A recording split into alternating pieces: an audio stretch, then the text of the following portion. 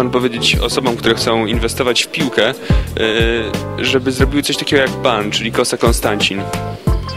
No, niech wyjmą pieniądze i zbudują klub, bo ja to u mnie tak powstało, bardziej filantropijnie. Yy, Powiem szczerze, że dużo swoich pieniążków zainwestowałem, natomiast yy, być może kiedyś to jakoś się zwróci, choć nie wierzę, bo yy, jeżeli gdzieś jakiś zawodnik przejdzie. Natomiast to nie o to chodziło mi. Chodziło mi o to, by właśnie robić to, co bardzo e, lubiłem i, i lubię i to, co oglądałem grając na zachodzie, by szkolić młodzież. Jest to bardziej regionalna szkółka Kosa Konstancin, opierająca się tam na okolicznym, no tak jakby w powiecie piaseczyńskim, natomiast już paru chłopców jakby gdzieś wychodzi, zaczyna się pokazywać. To jest bardzo fajne. Jeździliśmy też dużo za granicę na turniejach. Także to bardziej takie moje indywidualne e, inwestycja. Natomiast no, co zrobić? No ja myślę, że tutaj trzeba namawiać przede wszystkim i samorządy, by budowały boiska przy szkołach, przy pomagały klubom, by mm, te kluby stają w konkursach często samorządowych, by otrzymywali odpowiednie pieniądze. Są programy też e, chociażby w Warszawie, gdzie trener e, środowiskowy ponad 1000 zł może miesięcznie dostać e, pensji. Na pewno e, trzeba korzystać z takich programów i trenerzy muszą mieć też wiedzę. Tutaj trzeba namawiać też kluby duże u nas w Polsce, by jednak ja pamiętam jak ten rozwój w Polsce szedł, że jak zakładano jakieś Jupitery, każdy wymóg był, klub stadion musi mieć Jupitery, problemy były, że kto da na, na to pieniądze. Teraz już nie ma z tym problemu. Tak samo było z krzesełkami, później z pożywaną płytą.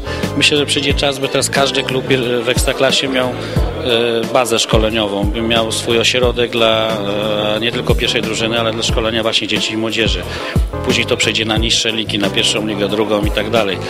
Czyli pomoc na pewno tu jest bardziej dla polityków ustawowa, czyli wprowadzenie tych udogodnień dla, dla, dla właśnie firm, dla sponsorów, którzy będą mogli inwestować w sport, ale też y, no jakby być z pewnych jakichś tam opłat y, zwolnieni, by te całe pieniądze szły właśnie w daną ich jego inwestycję. Ja tu ciągle przypominam budowę u nas supermarketów tam e, francuskich, nie będę wymieniał nazwy i oni są zwalniani przez okres tam 3-5 lat z podatków, tak? Przez to, że dają miejsca pracy dla naszych jakby ludzi. Tutaj w klubach można powiedzieć podobnie, jeżeli zainwestujemy pieniądze, ktoś zainwestuje budowę boisk, budowę, to też inwestuje w daną grupę dzieci, młodzieży i w profesjonalizm wychowania ich.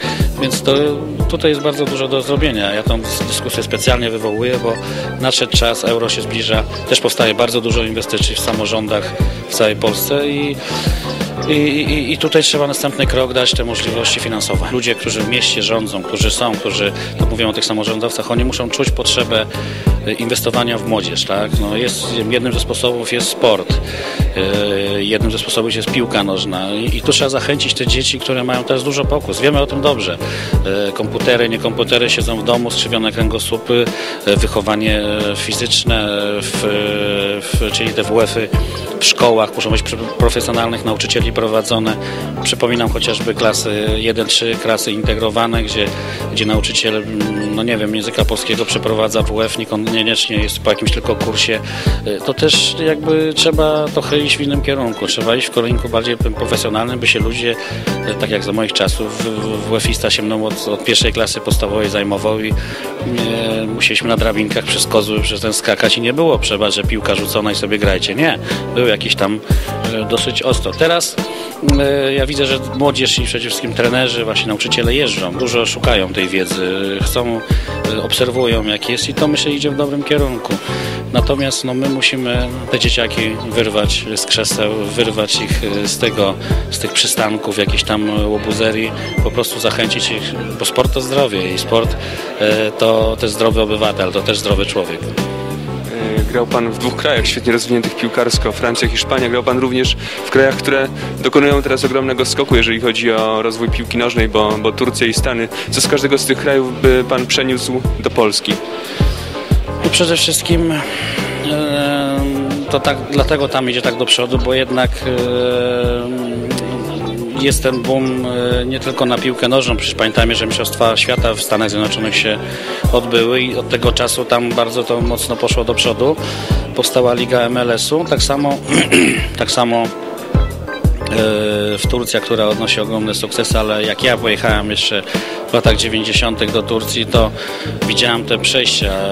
Przyjeżdżali świetni trenerzy, Sepp Piątek, Derwal, piłkarze, jak później Hadzi, prawda, e, złote buty zdobywał Tanżu Kolak ale to przez to, że właśnie była możliwość inwestowania i inwestorzy byli przez pewien czasu e, zachęcani, by inwestować, byli zwolnieni w z, z opłat na, na, na e, podatkowych, I, i, bo dlatego się pojawiły pieniądze, a wiadomo, że sławna osoba przyjdzie tylko wtedy, jeżeli też będzie dostawała coś w zamian, więc mm, e, ja też bym sobie życzył, by na polskich boiskach e, kiedyś zagrał Roberto Carlos, tak jak teraz gra Fenerbahce i tak dalej mogę wymieniać, więc czy Beckham jak gra w Los Angeles Lakers. Natomiast no, trzeba powiedzieć jedno, my robimy krok po kroku. Mamy organizację Euro 2012, chociażby Orlik 2012 w każdej gminie boisko, tu już jest bardzo dużo. Tak samo wiele boisk powstaje z innych programów ze sztuczną nawierzchnią. Samorządy, tak jak mówiłem wcześniej, pomagają. Po Euro zostanie nam sporo środków przygotowawczych, hotele, y, baza, będzie ten boom piłkarski i trzeba dalszy krok zrobić właśnie ułatwienia wejścia biznesowi w, w, w tym największym, czyli Ekstraklasa, ale też i w tych mniejszych miastach sponsorom by mogli wchodzić i pomagać klubom i pomagać w rozwoju piłki nożnej.